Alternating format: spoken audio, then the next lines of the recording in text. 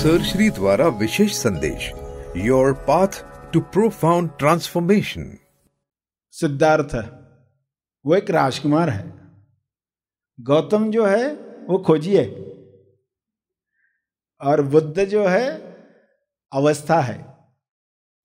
सिद्धार्थ के पिताजी ने, जब उन्होंने ज्योतिषियों की भविष्यवाणियाँ सुनी, सभी तो कह रहे थे, चक्रवर्ती राजा बनेगा। मगर एक ने कहा, नहीं, संबुद्ध ही बनेगा। फिर फिर से सवाल पूछने के बाद, फिर से बैठक बुलाने के बाद उन्हें इतना समझा कि बुद्ध को कुछ संकेत मिलेंगे जिस वजह से वो राजमहल छोड़ सकता है। तो ऐसे संकेत मिले ही नहीं। दुख का दर्शन करे ही नहीं। ऐसा आयोजन उन्होंने कर डाला। कैसा आयोजन? कि उनको दुख दिखाई न दे, बूढ़ा दिखाई न दे, बीमार दिखाई न दे, मृत्यु दिखाई न दे। मौसम में आने वाली अलग अलग तकलीफें, मौसम बदलता रहता है ना? तो ठंड की मौसम में उनको एक महल में रखा गया तो गर्मी के सीज़न में दूसरे महल में। ये परिवर्तन को ज़्यादा महसूस न करे। सुविधा में रहे, सुविधा। सुख। देखो, सुख के साथ कितनी अटैचमेंट करवाई। इनको कोई भी दिक्कत न आए। बारिश की सीज़न है, अलग महल में रखो। यानी वो बनाए इस तरह गए महल के जिसमें बारिश से आने वाली दिक्कतें न हो। मटेरियल जो यूज़ करते हैं, कौन सा ज़्यादा ठंडा मटेरियल होता है, कौन सा गर्म होता है, किस सीज़न में कौन सा मटेरियल ज़्यादा सुख देगा? ऐसा आयोजन। तो आप कहेंगे, कितने ग्रेट थे उनके पिताजी। और हमें भी ऐसे मिलते।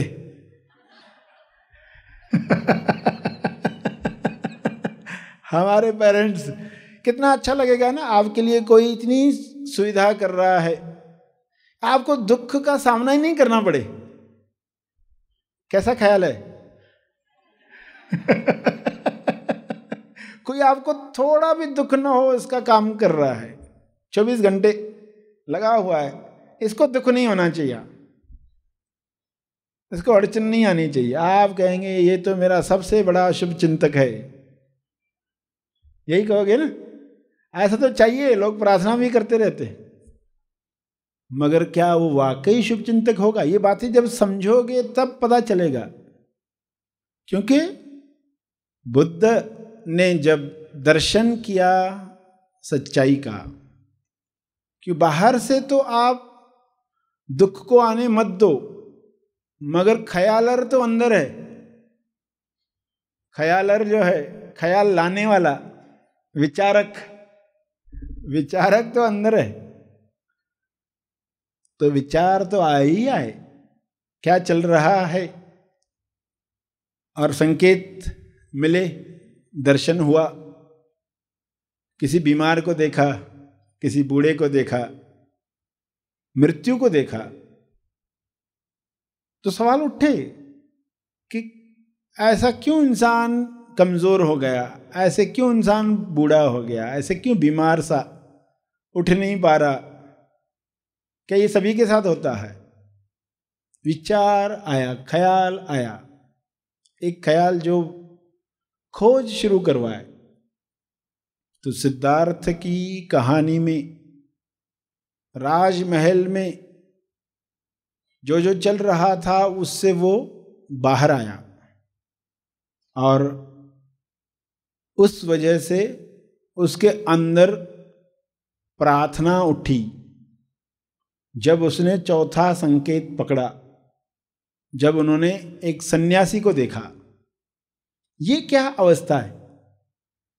पता चला कि ये इंसान सत्य की खोज में है। इसलिए इस तरह दिख रहा है, इस तरह जी रहा है। ऐसी भी अवस्था होती है। उसके अंदर प्रार्थना उठी, ऐसा मेरे साथ हो, ऐसा हो। देखो, वो कैसी प्रार्थना बन गई। प्रार्थना के लिए कोई हाथ जोड़कर बैठेगा तो ही प्रार्थना प्रार्थना बनती, ऐसा नहीं है। जो भी आप देखते हो, वो देखकर आपके अंदर दिल से क्या उठता है, हृदय से क्या उठता है, पुकार क्या उठती है, जोरदार। वहाँ जोरदार पुकार उठी। कोर से, गहराई से, समंदर की गहराई से, हृदय से, कोर से प्रार्थना उठी कि ऐसा हो, मेरे साथ ऐसा हो, मैं भी सत्य की खोज करूँ। वो प्रार्थना बन गई। सत्य की प्यास, सत्य के लिए प्रार्थना, आज़ादी से प्रेम जब बढ़ता है, तब आप चाहते हो ऐसा हो। कितनी शिद्दत से हम चाहते हैं। कितनी तीव्र प्रार्थना है, कितने कोर से उठी है। शोर से नहीं कहीं शोर होता है ना, बहुत दुख आते तो पर्सन बोलता है, मुझे मुक्त होना चाहिए।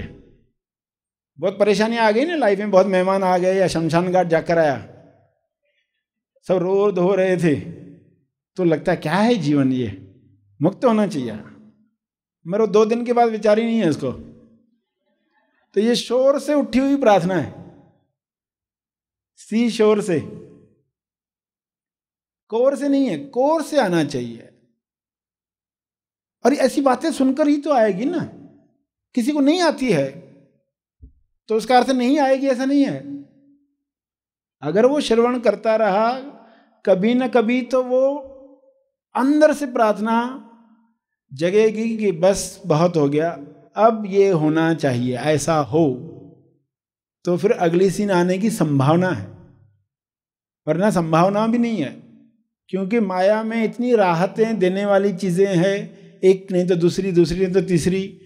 इंसान जा ही रहा है, ये डॉक्टर ठीक नहीं कर पाया, दूसरा डॉक्टर, तीसरा डॉक्टर, लोग ज़िंदगी भर दौड़ ही रहे हैं, जो पाना चाहते हैं, राहतें, एक राहत मिलती है, दूसरी की चाहत जगती है वो पूरी करते तीसरी की चाहत जगती है।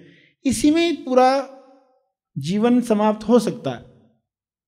और खोजी बनने के बाद कैसा सत्य हम ढूंढना चाहते हैं, जो हमें मुक्त करे। तो उन्होंने भी वो खोज शुरू की।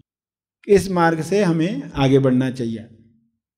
फिर वो समय आया जब गौतम बोधि वृक्ष के नीचे बैठा। बोधि वृक्ष नाम बाद में आया। पीपल पेड़ के नीचे बैठकर जब उन्हें ज्ञान मिला तो उस वृक्ष को ही बोधि वृक्ष नाम दिया गया है। बोध प्राप्त हुआ। बोधि मिली। तो वे उस वृक्ष के नीचे बैठे और उनके अंदर संकल्प आया कि जब तक अंतिम सत्य नहीं मिलता तब तक आँख नहीं खोलूँगा। हाथ नहीं खोलूँगा, पाँव नहीं खोलूँगा, तब तक तो बैठा रहूँगा। देखो, ये संकल्प आने के लिए भी कुछ काम हुआ है तो ही ये संकल्प आ सकता है तो ही ये ख्याल आ सकता है। ऐसे ही ख्याल नहीं आते हैं। उच्च ख्याल आने के लिए पहले कुछ काम हुआ होता है। उसके बगैर तो उच्च ख्याल भी नहीं आते। काम नहीं हुआ तो कौन से ख्याल आते? इंसान जीवन में देखे, सुबह से लेकर रात तक। सभी विचारों को लिख डालो, आपको पता चलेगा कि मुझे क्या क्या विचार आते हैं। जो सत्य से नहीं जुड़ा, उसके विचार पढ़ो। तो आश्चर्य होगा कि कितना इंसान खोया हुआ, सोया हुआ। सोया हुआ विचार कर रहा है, इंसान कैसे विचार करेगा? मगर गौतम के अंदर संकल्प का विचार आया कि अब हम हाथ पाँव नहीं खोलेंगे। आँख नहीं खोलेंगे, बैठे रहेंगे, चाहे शरीर की मृत्यु हो जाए। अब ये होने के लिए पहले जो काम हुआ है, यानी वृत्तियों से जो मुक्ति मिली है, लकीरों से जो मुक्ति मिली है, उस वजह से वो संकल्प का विचार आया, वरना तो कोई विचार कर नहीं पाएगा ऐसा। क्यों, कितना डर आएगा? ऐसा विचार लाएगा तो? कितने डर आएँगे? और ऐसा नहीं हुआ तो फिर क्या? वैसा हो गया तो क्या? शाम बिच्छू आ गया तो क्या? क्या क्या विचार नहीं आएँगे? मगर क्योंकि जो उन्होंने साधना की, उससे जो प्यूरिटी हुई प्यूरिफिकेशन इतने जो तप किए, छह साल ये चला, छह साल। समय की अवधि इसलिए क्योंकि जैसे ना राइट डायरेक्शन भी मिलना, कार्य करने की, वो भी तो मिलनी चाहिए। तो वो बैठे, क्योंकि स्टॉक अंदर से खाली हुआ था। दुख, ख पर खाली आ गया वहाँ पर। ख पर खाली। खाली होना जो दुख देता है, बुरा लगता है वो दुख। जो सुख देता है खाली होना, सुख कहेंगे। जो खाली होना मुक्त करता है वो तेजुक। तो अब वे खाली हुए थे। हंड्रेड प्रतिशत खाली नहीं हुए थे। अंदर विकार थे, गांठे थी, वृत्तियाँ थी, मगर कितनी कम हो गई थी कि वो संकल्प का विचार आया। ये खूबसूरती है, इतना तो कम हो। हमारी लकीरें इतनी तो मिटे कि हमें ख्याल तो आना शुरू हो जाए। कभी बैठना चाहिए, ध्यान में बैठना चाहिए, ज़्यादा समय बैठना चाहिए, इतना तो ख्याल आए। पूरी रात बैठेंगे ऐसा नहीं पर इतना तो ख्याल आए कि जहाँ जहाँ मौका मिलेगा, ध्यान करेंगे। इतना तो ख्याल आए, इतना तो स्टॉक कम हो लकीरों का। जो लकीरें जमा हो रही है, वृत्तियाँ जमा हो रही है, द्वेष, दुर्भाव, लोगों को देख देख कर नफरत जो जग रही है, स्टॉक तो बन रहा है। विचारों में हिंसा हो रही है, वाणी में हिंसा हो रही है। तो नया तो स्टॉक बंद हो गया, पुराना भी इतना तो निकले कि हमारे अंदर विचार, ख्याल तो आए कि बैठना चाहिए। वरना ये विचार भी नहीं आएगा। तो अगली क्रिया भी नहीं होने वाली है। तो कैसी खूबसूरती है? आप जो भी कार्य कर रहे हो टीचिंग्स पर कार्य कर रहे हो, उसी से तो विचार आ रहे हैं, उस वजह से क्रिया हो रही है, उस वजह से आगे की बातें सुन रहे हैं। सब हैपनिंग में खूबसूरती से चल रहा होता है। जो जितना समझते जाएगा, उतना आनंदित रहते जाएगा। दुख, सुख नहीं है। तो दुख भी नहीं, सुख भी नहीं है। है की अवस्था में रहना शुरू हो जाएगा। तो वो आने के लिए ये बातें आप समझ रहे हो। देखो, कहानियाँ तो लोग बताएँगे, फिर ऐसा हुआ, उन्होंने ये सोचा, फिर ये हुआ, उनको ज्ञान मिल गया, मगर एक्चुअली इंटरनल क्या चल रहा था, उसको समझना है, क्योंकि ये आपके लिए काम का है। वो नहीं समझा, कहानी में वाह कह दिया, महापुरुष हो तो ऐसा। मगर क्या वो ऐसा कुछ था जो हम कर सकते हैं? हम क्या करें? ये हमें पकड़ में आया तो वे बैठे।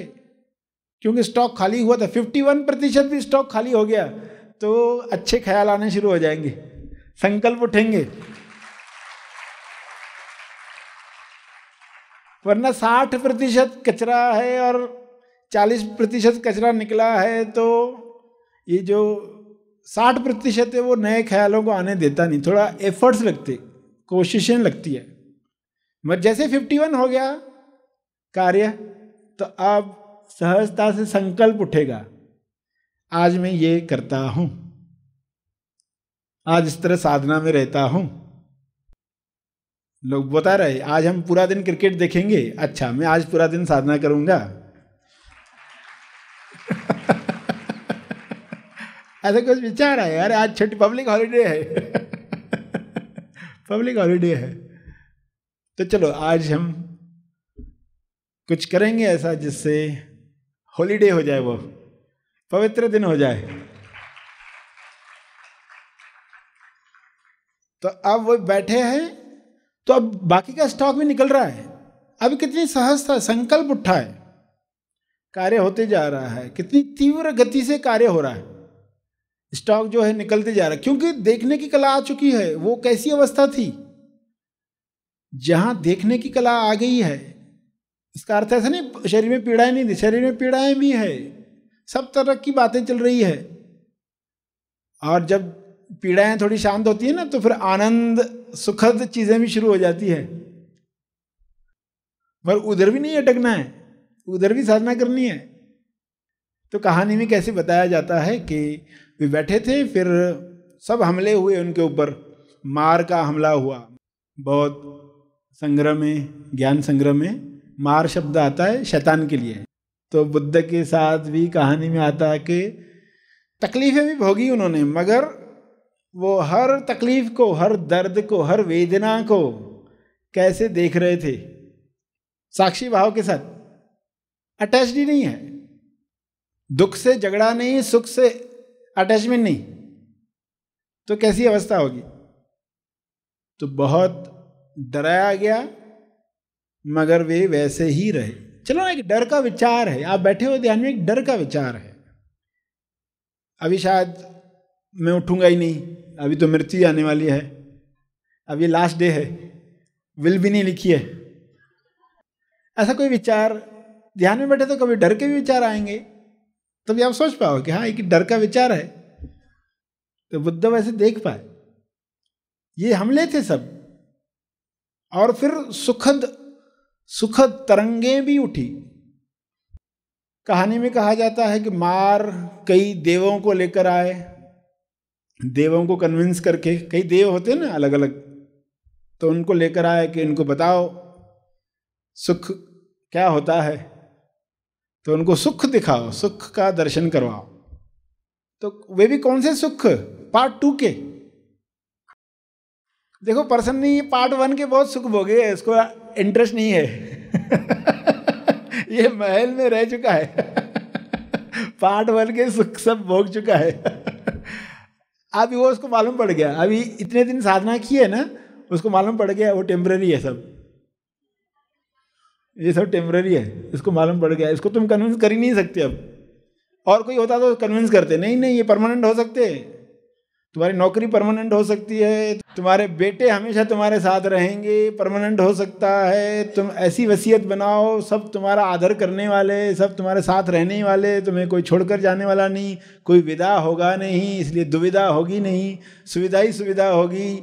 तो मन तो मानने को तैयार होता है। हाँ ये परमानेंट हो सकता है। ये परमानेंट हो सकता है।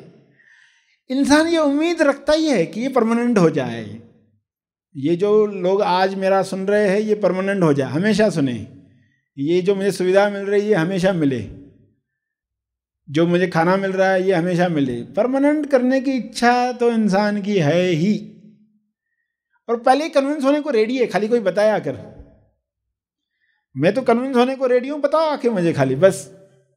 तो पहले ही रेडी है। ऐसे लोगों को तो क्या, शैतान को खुद भी आना नहीं पड़ता। कोई भी प्यादा बेच दिया, वही काम कर लेता है। खाली जाके बोलो, ये सुख तुम्हारा परमानेंट हो सकता है। ये लोग तुम्हारी तारीफ़ करते हैं ना, ये तुम्हारी हमेशा तारीफ़ करेंगे। अच्छा ये परमानेंट हो जाएगा, बहुत अच्छा। तो कभी कभी कोई नहीं करते हुए दिखता है तो उसको कन्विंस करते हैं, अरे, तुमको करना चाहिए। उसके लिए आप अच्छा काम करोगे ताकि वो तारीफ़ करे। परमानेंट करने की चाहत है कि जो अच्छा लग रहा है ना, ये हमेशा होता रहे। सच्चाई से मुँह मोड़ता है इंसान। सच्चाई देखना नहीं चाहता। इसलिए बुद्ध ने कहा, पहला आर्य सत्य ये दुख है, ये टेम्पररी है। ये सुख है, ये टेम्पररी है। पहले पक्का करो। ये कायम नहीं है। तो शैतान को खुद आना पड़ा बताने के लिए कि चलो पार्ट वन के सुख तो परमानेंट होते नहीं है। पार्ट टू के दिखाते हैं उनको क्योंकि पार्ट टू के ज़्यादा लंबे समय तक चलते ना। अभी देखो, आपने गुलाब जामुन खाया और दो घंटे के बाद पूछा, स्वाद किधर है? तो कहीं तो किसी को होश जग सकता है कि वो किधर गया स्वाद। वो भी आता नहीं है लोगों को?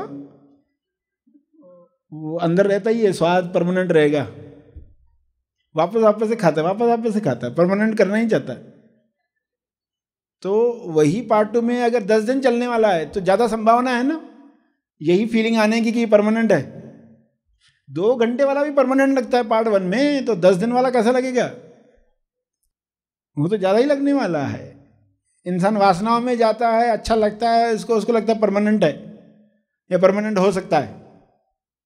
तो पार्ट टू में जाएगा तो वहाँ तो उसको स्वाद इतने लंबे समय तक रहते हैं, इतनी सुविधाएँ हैं तो वहाँ तो परमानेंट ही लगेगा। पार्ट वन में जो क्लियर नहीं हुआ टू में कैसे होगा? तो उसको वहाँ के सुख दिखाए। यानी वो सब भी फीलिंग यानी सूक्ष्म देह। अभी आप तो इंटरनल अर्थ समझोगे, कहानियाँ जो नहीं बता पाएगी, वो आप समझ पाओगे। सूक्ष्म देह में उसको सारे अनुभव करवाए गए। आउट ऑफ़ बॉडी बॉडी से बाहर, वो जागृत अवस्था में शरीर के बाहर सूक्ष्म देह में सारे सुख महसूस कर रहा है, मगर वो कहता है, फिर भी मैं साधना ही करूँगा इसके साथ। फिर भी बुद्ध कर ये टेम्पररी है। फिर भी वही नारा है कि ये अकायम है।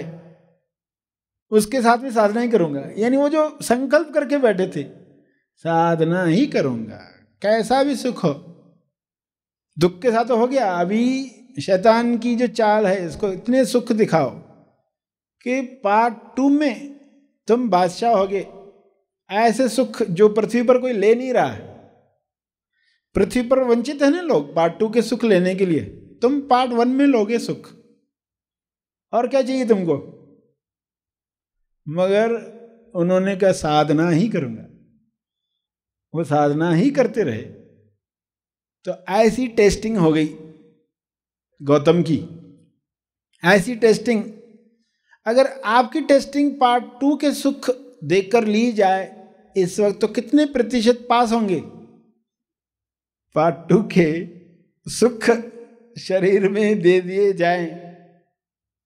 और उसी को इंसान फेल होगा या नहीं बोलेगा? हाँ यही फिर मेरे लिए काफ़ी है। ऐसा ही जीवन मेरे लिए सफिशियंट सत्य नहीं मिला, चलेगा। ये क्या कम है? पृथ्वी पर किसी को मिलता नहीं। तो बहुत थोड़े प्रतिशत लोग उसमें सफल होंगे।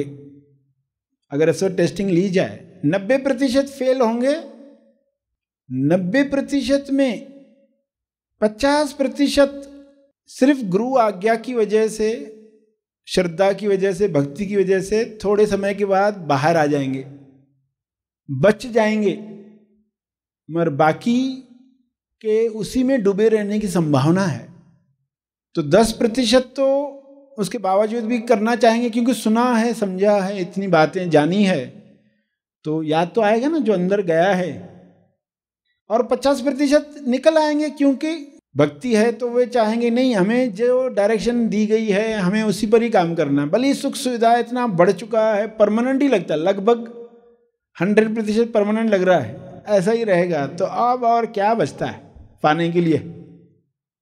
तो 50 प्रतिशत फिर थोड़ा समय लगाकर बाहर आ सकते हैं, क्योंकि जो बीज गया है अंदर, वही तो काम में आता है। वही तो पार्ट टू में काम में आता है। जब पार्ट वन पर कोई इतनी साधनाएँ करके गया है तो जो सुना हुआ है, वो उसको मदद करेगा। हायर से प्रेम वही उसको हायर लेवल पर ले जाएगा।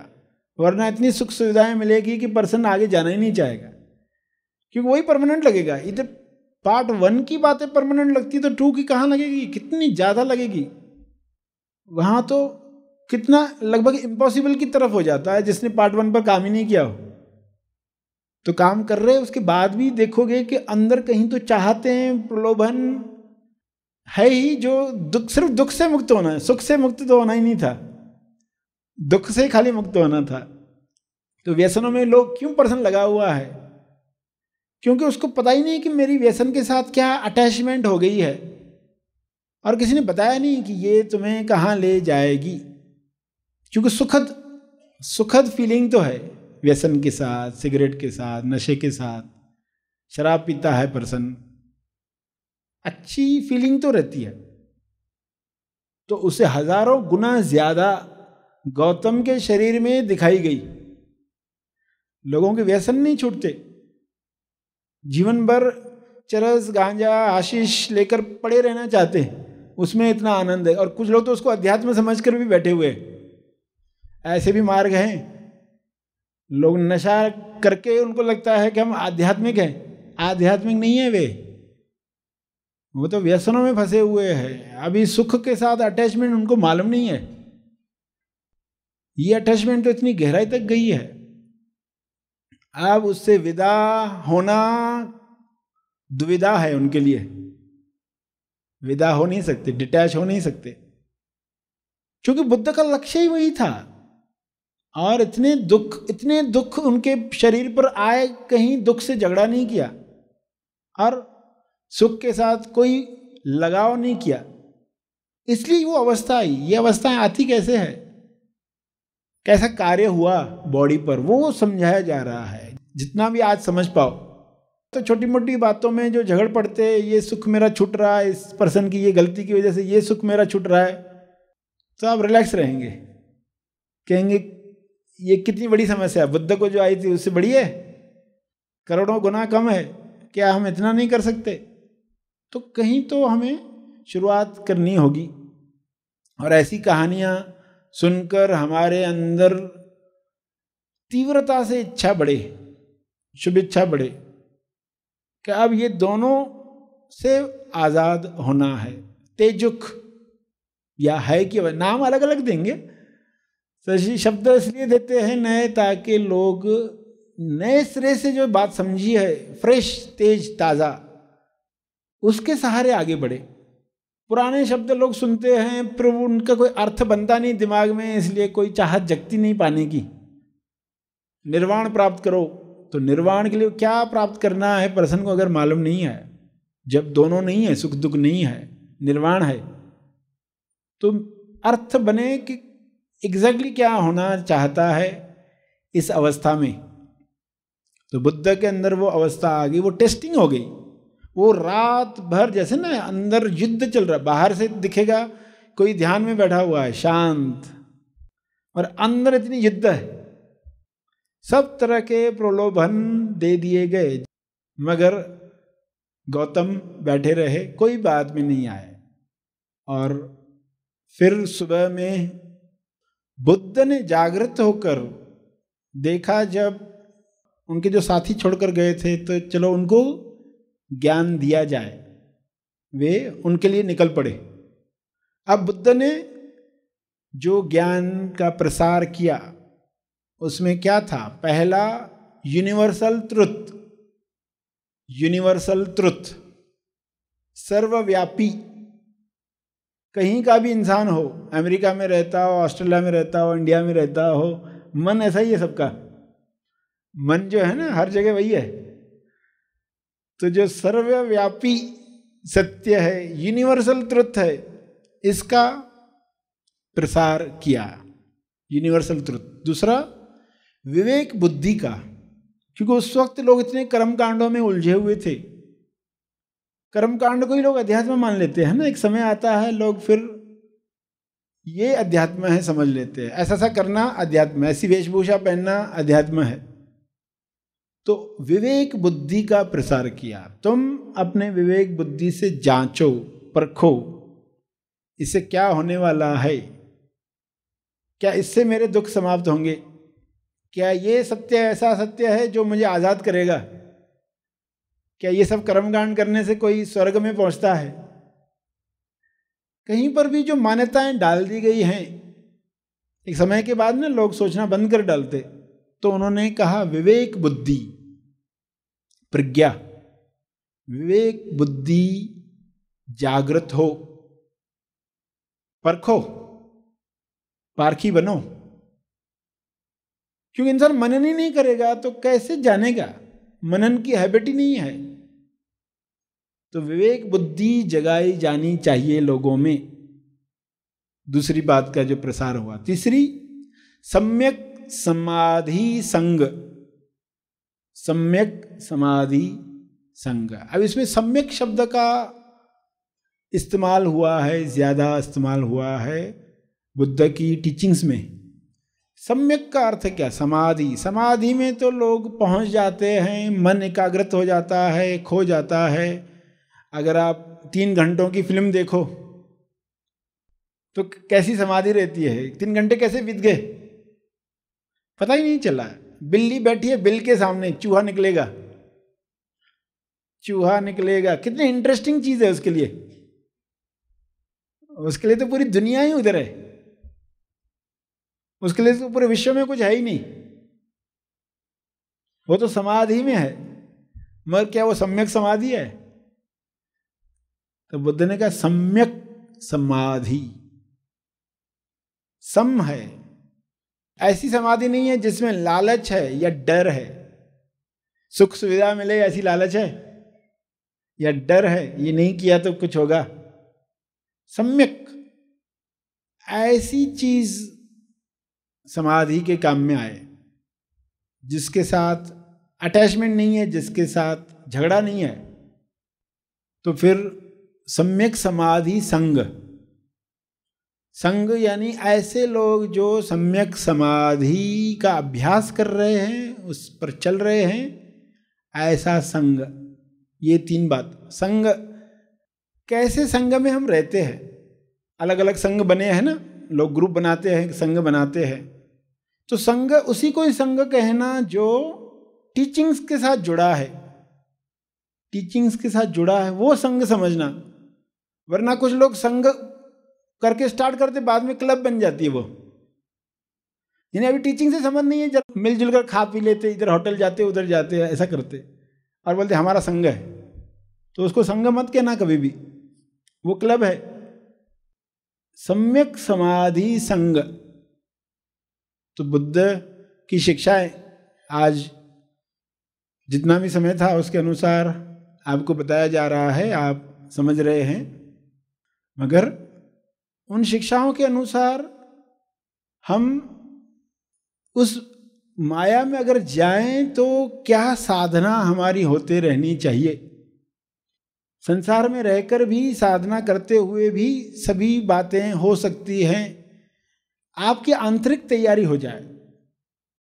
महा आसमानी परम ज्ञान शिविर क्यों करें? आइए कुछ सत्य साधकों द्वारा जाने कि इस शिविर का उनके जीवन में क्या लाभ हुआ।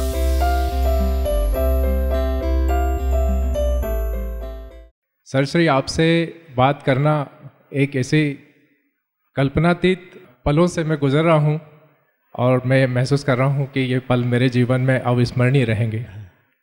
मेरा सहज मन ये कहता है कि जो पाँच दिन में जो मुझे जो ज्ञान मिला है, उसके आगे कुछ प्रश्न रह ही नहीं जाता है, कुछ पूछने के लिए। मैं वर्तमान में मध्य प्रदेश के जो मुख्यमंत्री हैं, उनका डिप्टी सेक्रेटरी हूँ। और छः महीने पूर्व मैंने एक बुक फेयर से आपकी बुक्स ली थी। मैं पिछले 25-30 सालों से किताबों का पढ़ने का मुझे शौक़ रहा है और इसी शौक़ ने मुझे आपके पास लाए जब आप खोजी बनते हो तो ईश्वर एक मार्गदर्शक भेजता है। उस हिसाब से आप मेरे जीवन में मार्गदर्शक के रूप में आए। और सरश्री मैं, जो आपने शिक्षाएँ दी हैं, उसमें धर्म की कहीं कोई बात नहीं है। आपने जो बात की है ज्ञान की, वो वो उस वक्त की बात है जब धर्मों का निर्माण भी नहीं हुआ था। इसलिए धर्म तो आता ही नहीं है कहीं। जब धर्म शुरुआत भी नहीं हुई थी, आदमी ने सोचना भी शुरू नहीं किया था, ईश्वर जब जहाँ से उसने अपनी रचना की प्रकृति की तब वहाँ से आपने शुरुआत की है। तो कोई दूसरे विचार तो कुछ प्रश्न ही नहीं है। और मेरे पास शब्द नहीं है। मैं कैसे संभालूँगा मैं इन शिक्षाओं को?